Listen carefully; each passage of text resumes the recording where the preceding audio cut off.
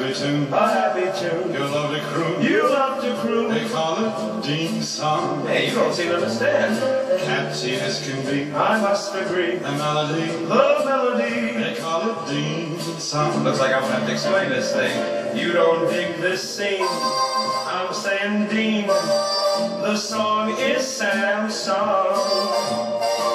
Sam, you're just a ham. But Dean, here's the scam. The song was named after Sam.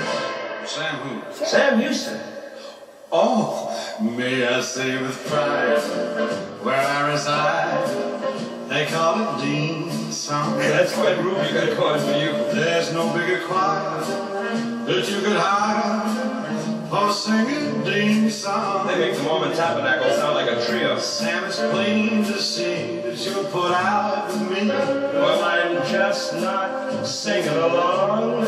Tell you what I'll do, since I'm with you, Uh, we'll call it Clyde song. Clyde song.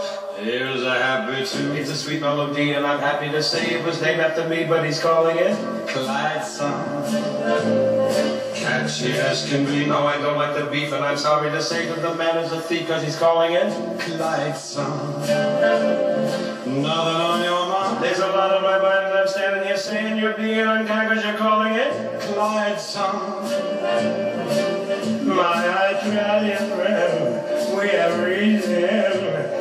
We simply don't seem to Sam, compromise. Oh, I hear what you say, but by that do you mean that you'll do it your way and keep calling it? Sam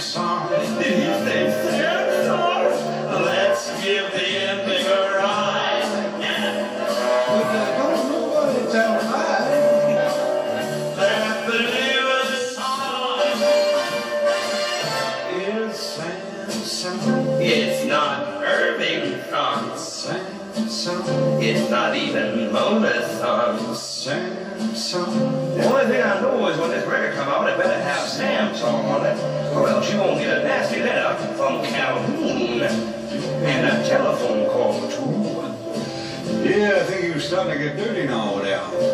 We. Listen, we gonna have a meeting at the Luxor. You wanna come by? Well, you gotta ask me the right way. Okay, we'll do that. Thank you very kindly, folks.